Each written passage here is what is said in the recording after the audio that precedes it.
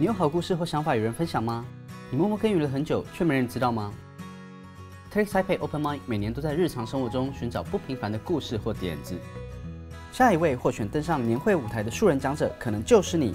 要怎么报名呢？就让我们一起来看看吧。先准备五百字简介，说明你是谁，你的点子或故事是什么，为什么你要做这件事，这个想法如何被执行，这个想法或计划可以解决什么问题。再上传十页简报档到 SlideShare 或是五分钟以内的影片，并提供档案连接。如果简报和影片都不是你擅长的，那请提供五页以内的作品集或剪贴簿。总之，不管用什么样的形式，只要能让我们清楚理解你想分享的内容就对了。到报名页面上点选我要报名，填写个人资料，并按下送出。报名于六月十一日晚上十一点整截止，六月十八日就会知道有没有入围喽。入围者有三十至四十分钟的咖啡访谈。请准备五分钟的自我介绍，与我们分享你的故事与观点。不论你是科技人、艺术家、科学家、学生、农夫或是家庭主妇，我们想要看的是身份之后那个属于你的好点子。